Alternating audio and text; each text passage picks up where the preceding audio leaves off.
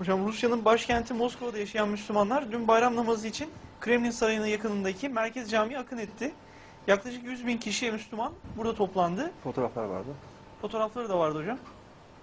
Bayağı Cami güzel. dolunca Müslümanlar caddede serilen örtüler üzerinde namazlarını kıldı. Moskova Belediyesi de namazın dışarıda rahat kılınabilmesi için ses düzenlemesi yaparak Müslümanlara kolaylık sağladı. Maşallah.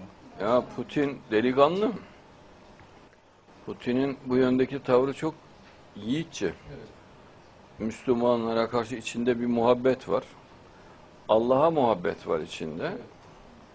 Ee, Putin bu yüzyılın önemli delikanlılarından bir tanesi. İyi değerlendirilmesi lazım. Vicdanı da güzel Putin'in. Evet. Yani tabii hatalar, eksik, yanlışlar ama İslam'a sevgi yönündeki muhabbeti çok güzel. Ben hiç unutmuyorum biz eee,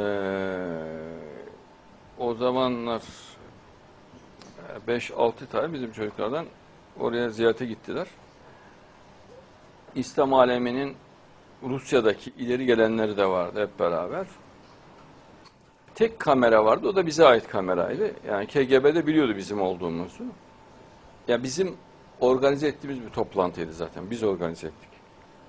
Arkadaşlarımız organize ettiler. Putin de davet edildi. Putin geldi. Oradaki Müslüman hocalara kendi eliyle kaşıkla yemek yedirdi. Bir bir. Biz de bunu videoya aldık.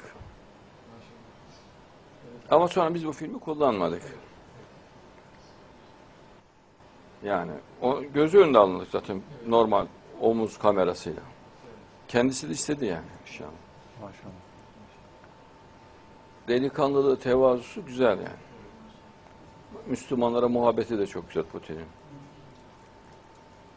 Yani iyi değerlendirse Rus Müslümanları Putin'in ihya olurlar.